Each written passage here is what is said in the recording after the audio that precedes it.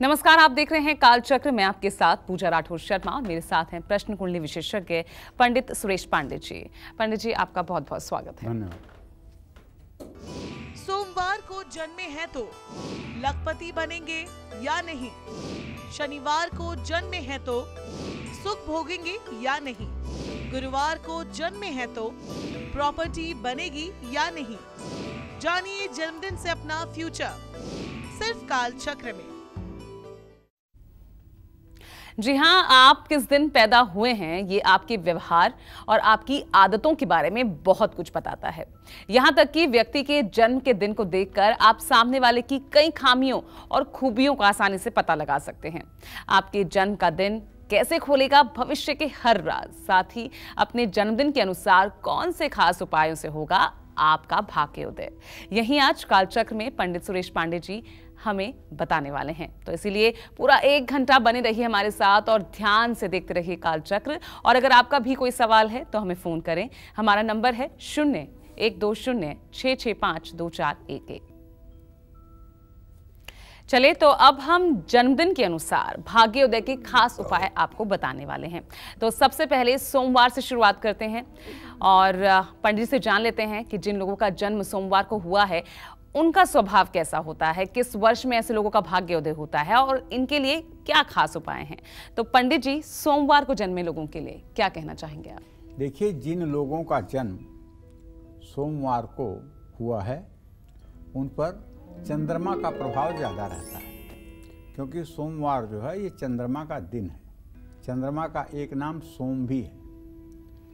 सोमवार को पैदा हुए लोग सुंदर नेत्र वाले इनकी आँखें थोड़ी बड़ी बड़ी होती हैं। बुद्धिमान, गोरे रंग के। अगर लग्न में शनि नहीं होगा तो गोरा रंग ज़रूर होगा।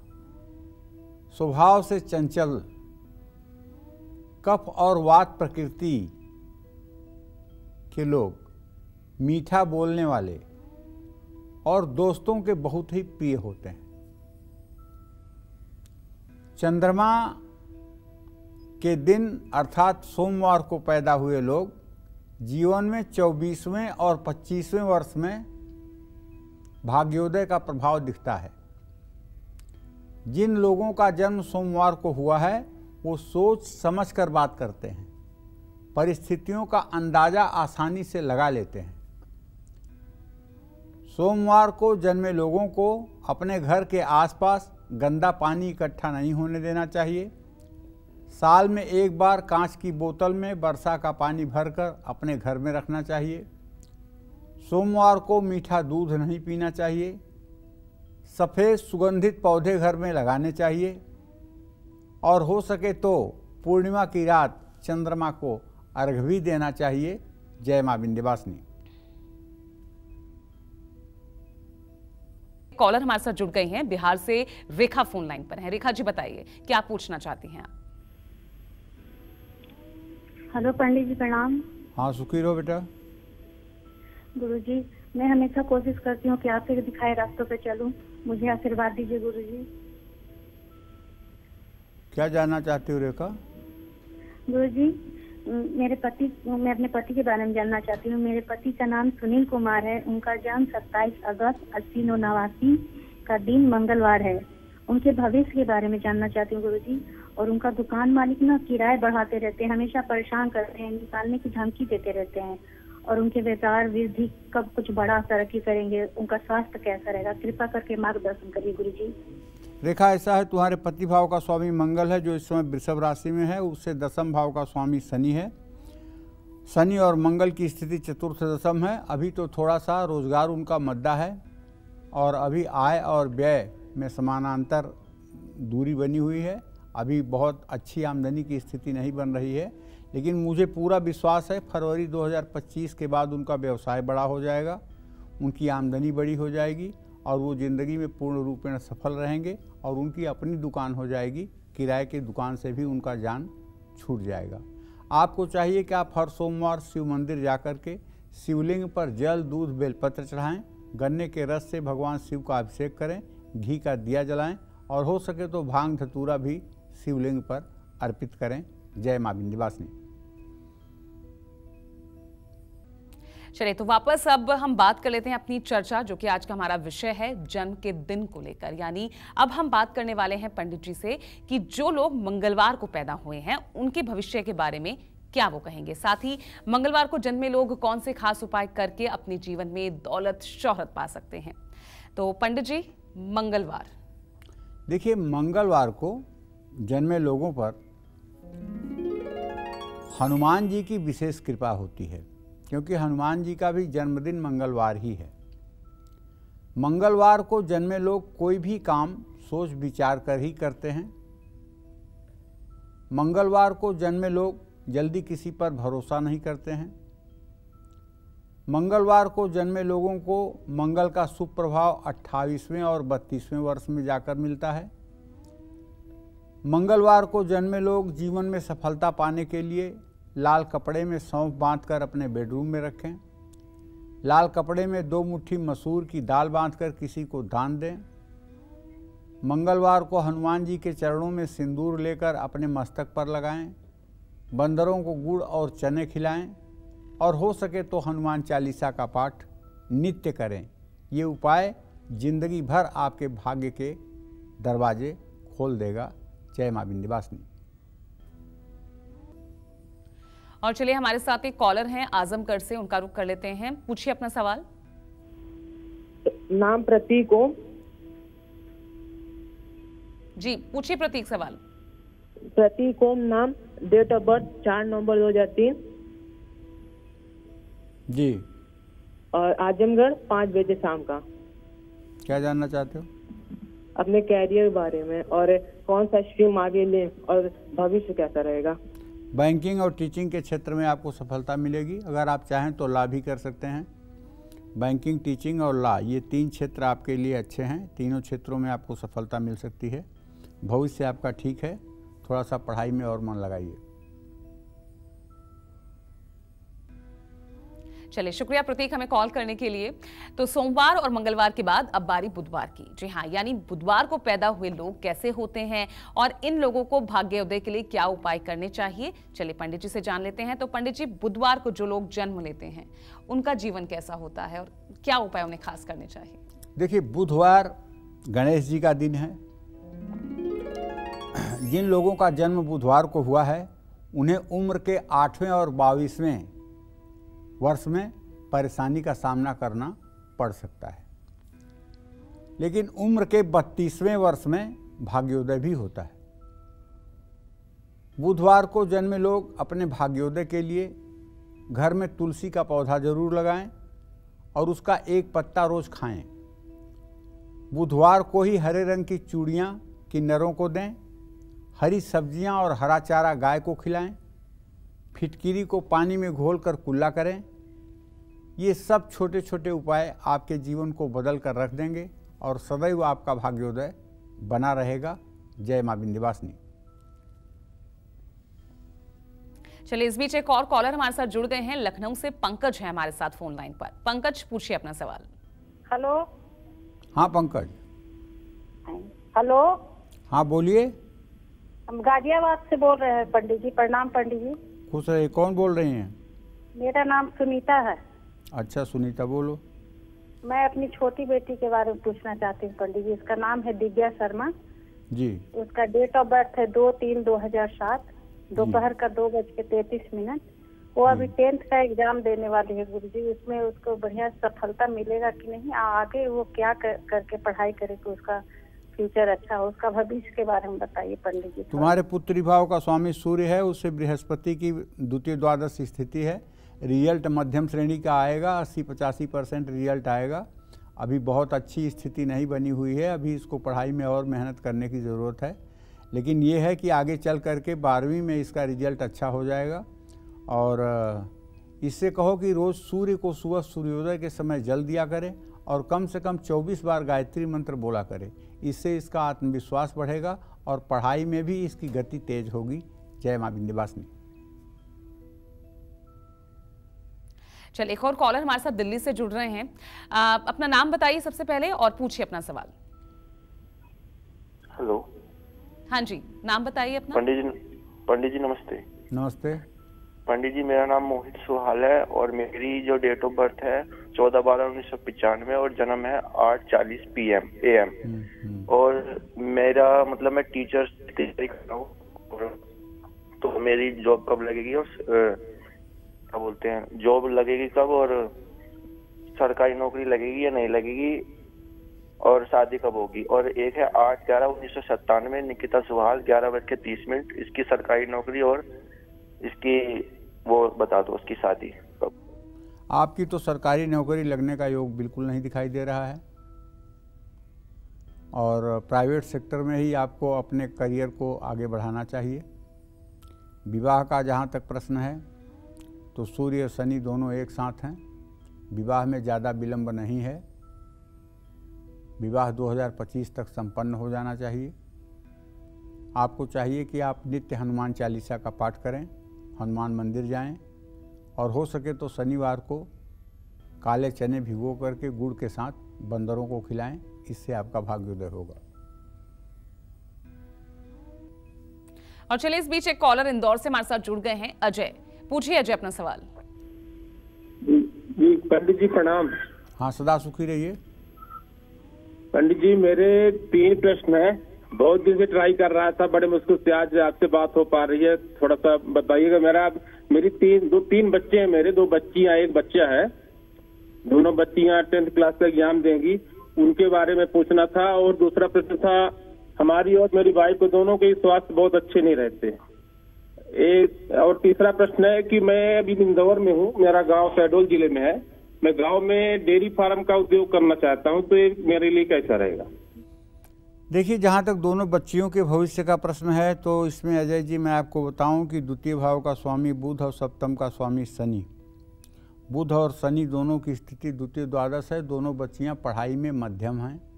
ना तो बहुत उत्तम हैं, ना बहुत डफर हैं। इन दोनों के पढ़ाई के लिए और थोड़ा सा ध्यान दें तो दोनों का भविष्य उत्तम रहेगा। जहाँ तक आपने अपने और अपने पत्नी के स्वास्थ्य के बारे में प्रश्न किया है तो उसके बारे में अजय जी, आप जान लीजिए। कि आपके पत्नी भाव का स्वामी का प्रतिनिधित्व शुक्र कर रहा है और आपका प्रतिनिधित्व मंगल कर रहा है। आपको दर्द से संबंधित, रक्त से संबंधित बीमारियाँ परेशान कर रही हैं और आपकी पत्नी को एलर्जी और लीवर से संबंधित बीमारी परेशान कर रही है। आप दोनों को चाहिए कि पत्नी बृहस्पतिवार के दिन केले के पेड़ में जल और हल्दी डालें और आपको चाहिए कि आप मंगलवार को हनुमान जी को सिंदूर और चमेली के तेल का चोला चढ़ाएँ। इससे आप दोनों का स्वास्थ्य ठीक रहेगा। जहाँ तक डेयरी फार्म का प्रश्न है तो अभी उसका समय नहीं आया है। फरवरी 2025 के बाद अगर ये काम आप करेंगे तो उसमें आपको सफलता मिलेगी। जय माँ बिंदवासिनी चलिए एक और कॉलर है हमारे साथ फ़ोन लाइन पर। अपना नाम बताइए और आप कहाँ से हैं, ये भी जानकारी दीजिए और पूछिए फिर अपना सवाल।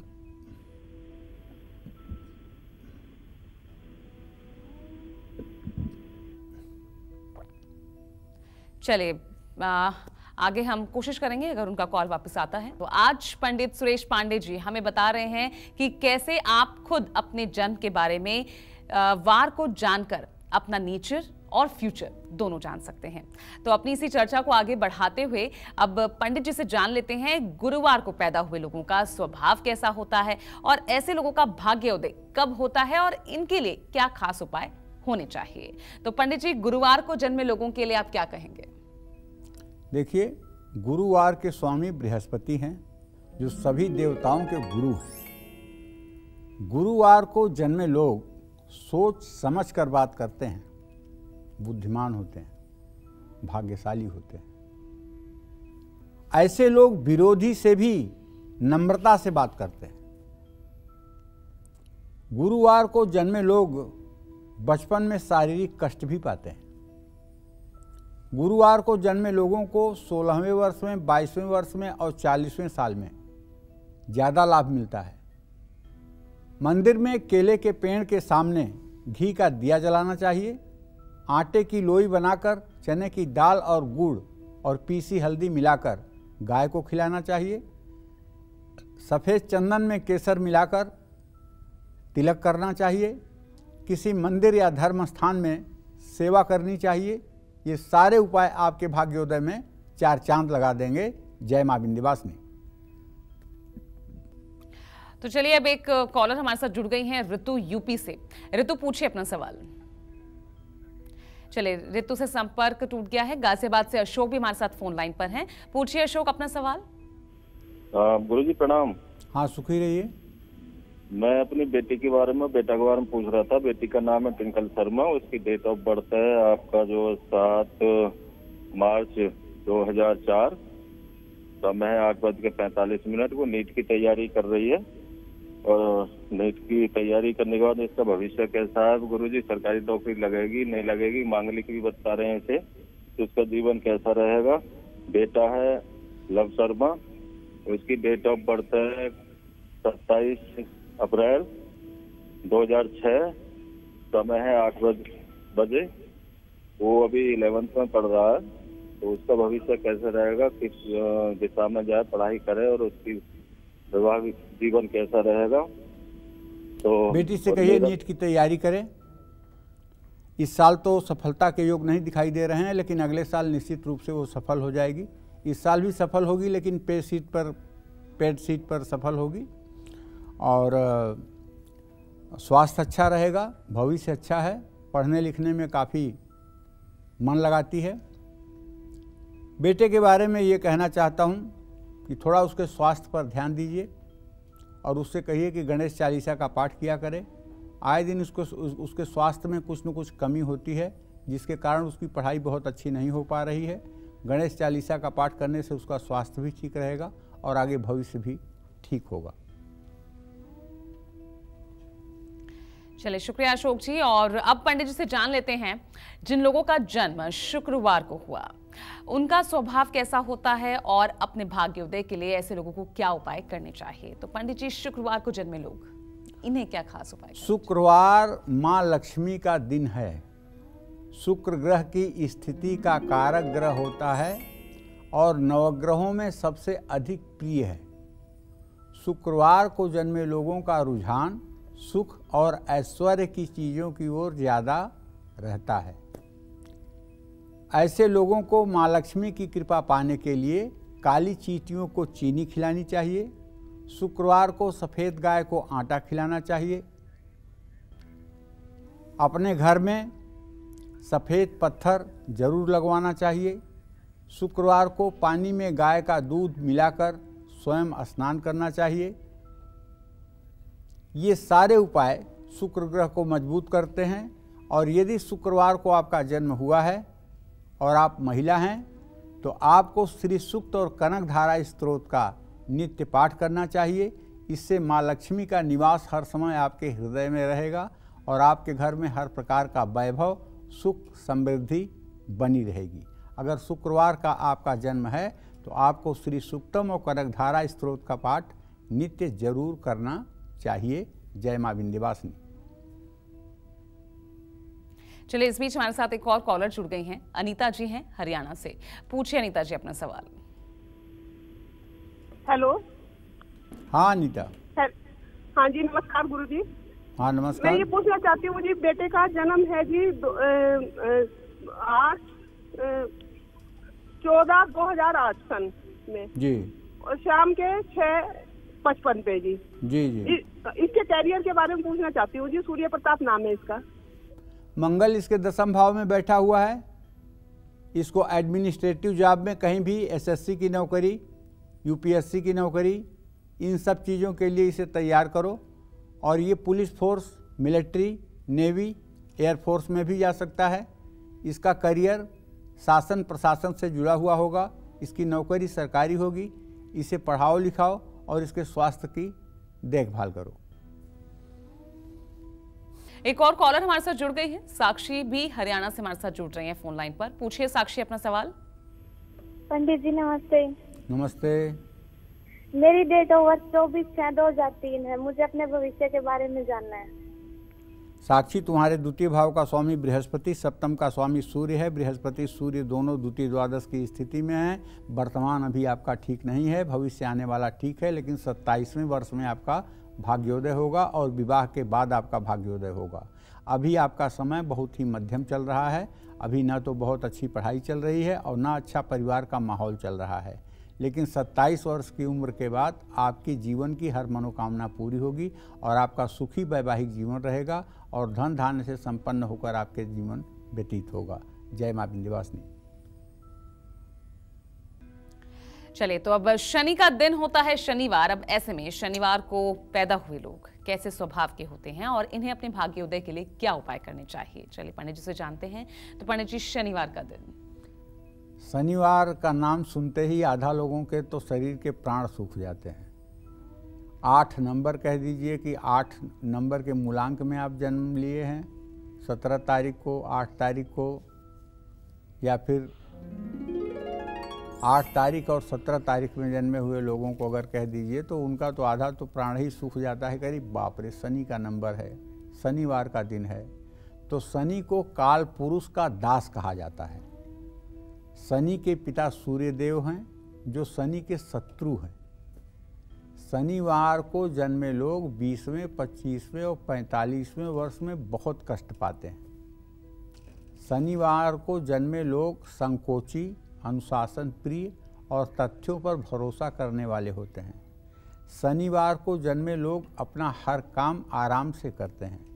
शनिवार को जन्मे लोगों को शनि की कृपा पाने के लिए पीपल के पेड़ की जड़ में तिल के तेल का दीपक जलाना चाहिए।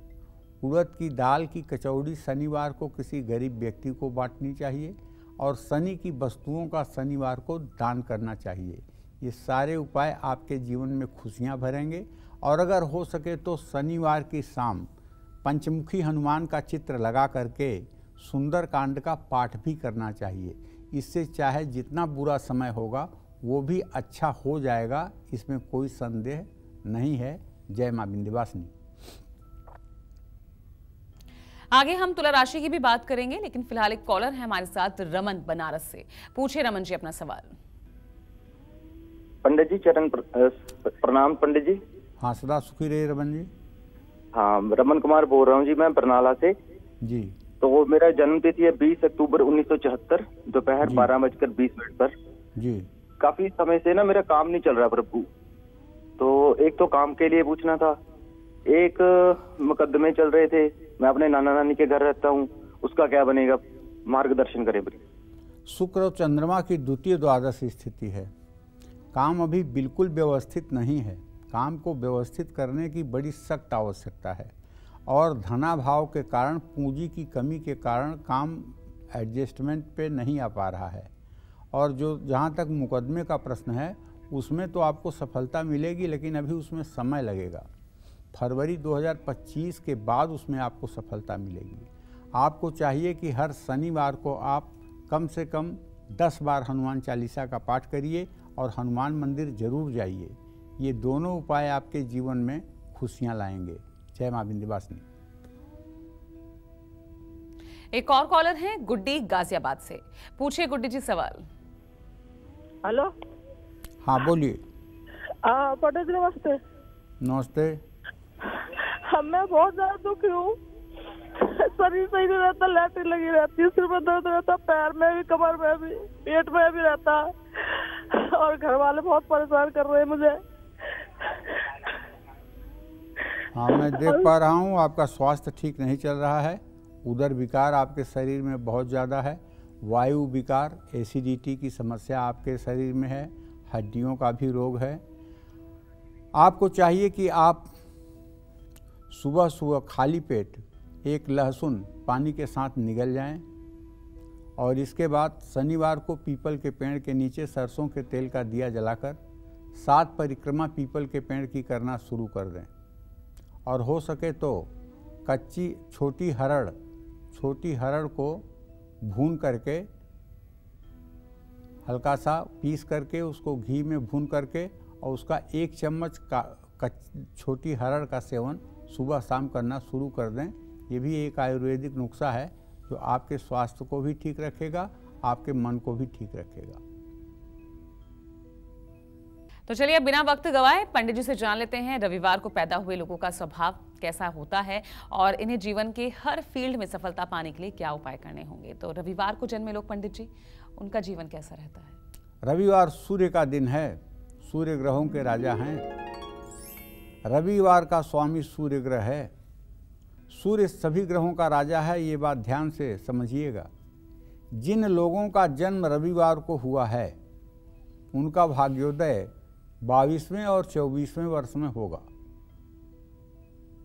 सूर्य का प्रभाव पड़ने के कारण ये लोग पल में खुश हो जाते हैं और पल में ही नाराज़ हो जाते हैं।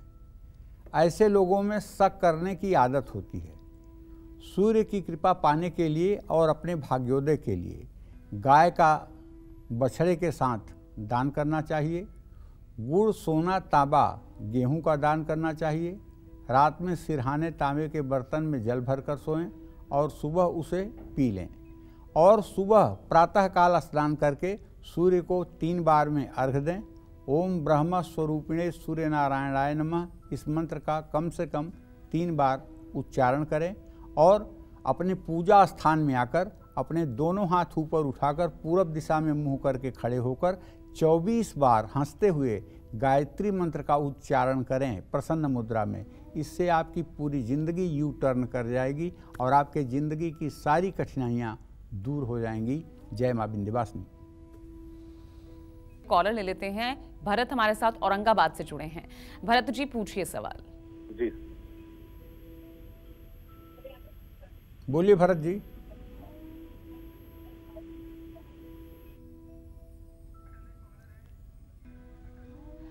चलिए देखिए इस बीच हम अपने कॉलर से गुजारिश करना चाहेंगे कि हमसे बात करते वक्त अपने टीवी सेट का वॉल्यूम बंद रखिएगा और फ़ोन के ज़रिए हमें सुनिए। और इस बीच अटल हमारे साथ जुड़ गए हैं एक और कॉलर पूछिए अटल जी क्या सवाल है आपका? हाँ प्रणाम पंडित जी। सुखी रहिए। हाँ मेरा डेट ऑफ़ बर्थ है सत्रह तीन दो हज़ार चार रात को दो पचास। जी। और मैं अपने भविष्य के बारे में पूछना चाहता हूँ मेरी जॉब लगेगी या नहीं कैसा स्वास्थ्य ठीक नहीं रह रहा है? भविष्य तो तुम्हारा बहुत बढ़िया है। अभी तो उन्नीस साल के हो रहे हो नौकरी लगने में तेईसवें वर्ष तक का इंतज़ार है। चार साल का इंतज़ार है अभी अच्छी नौकरी लगने में और कोशिश करोगे तो सरकारी नौकरी भी लगेगी। लेकिन जिस तरह से अभी पढ़ाई कर रहे हो इसी तरह से करते रहोगे तो सरकारी नौकरी की उम्मीद मत रखो। क्योंकि अभी तुम्हारे शिक्षा भाव का स्वामी अटल जो है, वो सूर्य है, जो शनि के साथ है। अभी उत्साह में आकर दो दिन किताब खोलते हो तो पाँच दिन किताब खोलते नहीं हो। तो ज़रा पढ़ाई में और मन लगाओ और सरकारी नौकरी के लिए अपने को तैयार करो। निश्चित रूप से सफलता मिलेगी, जीवन आपका खुशहाल व्यतीत होगा। यही माँ बिंदवासिनी से प्रार्थना है। जय माँ बिंदवासिनी। इस बीच एक और कॉलर का रुख कर लेते हैं। मीनाक्षी हमारे साथ मध्य प्रदेश से जुड़ी हुई है। मीनाक्षी, पूछिए अपना सवाल। पंडित जी प्रणाम। हाँ सुखी रहो मीनाक्षी। आपके चरणों में कोटि कोटि प्रणाम पंडित जी। मैं आपसे 11 साल से जुड़ी हूँ। आपकी टीम को सबको मैं धन्यवाद देती हूँ दिल से। मैं अपनी बेटी का भविष्य जानना चाहती हूँ पंडित जी। जी। मेरी पंडित जी एक दस निन्यानवे है। किट्टू कीर्ति कीर्ति पताका सेठिया। मैं उसका भविष्य जानना चाहती हूँ पढ़ाई का और शादी का। दूसरी है 2005 की माही सेठिया। मैं उसकी पढ़ाई के क्षेत्र में जानना चाहती पंडित जी। तुम्हारे बेटी का भविष्य बहुत अच्छा है। पढ़ाई का भविष्य तो मध्यम है, लेकिन शेष भविष्य बहुत उत्तम है। अच्छी घर में ब्याही जाएगी अच्छा जीवन साथी मिलेगा, सुखपूर्वक जीवन व्यतीत होगा, स्वास्थ्य ठीक रहेगा, बुद्धिमान है, चरित्रवान है और गुणवान है। पढ़ाई में और मेहनत अगर करना चाहती है तो उसको रोज़ दुर्गा चालीसा का पाठ करना चाहिए। दुर्गा चालीसा के पाठ के साथ साथ गणेश अथर्व शीर्ष का पाठ उसे सुबह शाम ज़रूर करना चाहिए। और छः महीने तक गणेश अथर्व शीर्ष का पाठ करके फिर उस गणेश अथर्व शीर्ष को आठ सादे कागज़ों पर लाल कलम से लिख करके, लेमिनेशन करवा करके आठ ब्राह्मणों को दस दस रुपए की नोट के साथ एक एक पन्ना वही लिखा हुआ मंत्र दान कर दे। इससे इसके जीवन में चार चाँद लग जाएगा। जय माँ विंध्यवासिनी। घर में धन रखें लेकिन संभल कर क्योंकि धन रखने की गलत जगह आपका बड़ा नुकसान करा सकती है। तो क्या है धन रखने की गलत और सही जगह? चलिए पंडित जी से जानते हैं। तो पंडित जी धन को संचय करके रखना ये बहुत ज़रूरी होता है। धन तो है लेकिन गलत जगह रख दिया तो नुकसान हो गया। क्या करें ऐसे में? दक्षिण पूर्व के बीच की दिशा को आग्नेय कोण कहते हैं। आग्नेय कोण में धन रखने से धन घटता है। दक्षिण पूर्व दिशा में धन रखने से आमदनी से अधिक खर्च होता है, जिसके कारण कर्ज की स्थिति बनी रहती है। धन को दक्षिण दिशा में रखा तो नुकसान तो नहीं होता है, लेकिन धन की बचत और बढ़त भी नहीं होती है। दक्षिण और पश्चिम के बीच की दिशा नैऋत्य कोण कहते हैं। नैऋत्य कोण में धन रुकता ज़रूर है लेकिन उस धन के भविष्य का पता नहीं होता है। पश्चिम दिशा में धन और गहने रखने से कोई खास लाभ नहीं मिलता है। पश्चिम दिशा में धन रखने से बड़ी कठिनाई से धन घर में आता है। पश्चिम और उत्तर दिशा के बीच को वायव्य कोण कहते हैं। वायव्य कोण में धन रखा जाए तो बजट हमेशा गड़बड़ाया रहता है। व्यक्ति कर्ज और कर्जदारों से परेशान रहता है। तो फिर धन रखने के लिए कौन सी सही है दिशा? अब ये मैं आपको बताना चाहता हूँ। धन रखने के लिए उत्तर दिशा सबसे उत्तम मानी गई है, क्योंकि उत्तर दिशा के स्वामी धन के देवता कुबेर हैं। अलमारी उत्तर दिशा की ओर खुलेगी तो उसमें रखी चीज़ों की वृद्धि होती चली जाएगी। उत्तर और पूर्व दिशा के बीच की दिशा को ईशान कोण कहते हैं। ईशान कोण में धन रखने से ना सिर्फ़ माँ लक्ष्मी प्रसन्न होती हैं, बल्कि संतान का सुख भी मिलता है। जय माँ विंध्यवासिनी तो उम्मीद करते हैं आपको आज का हमारा ये विषय बेहद पसंद आया होगा। कल फिर एक नए विषय और आपकी परेशानियों को दूर करने के लिए ढेर उपाय लेकर आएँगे हम पंडित सुरेश पांडे जी के साथ। पंडित जी बहुत बहुत शुक्रिया। तो तब तक के लिए कालचक्र की पूरी टीम को इजाज़त दीजिए और देश दुनिया की बाकी खबरों के लिए देखते रहिएगा। न्यूज़ 24 नमस्कार।